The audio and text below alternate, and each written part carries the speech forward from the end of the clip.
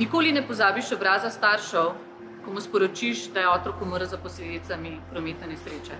Kot zdravnica vas prosim, bodite odgovorni, vozite trezni.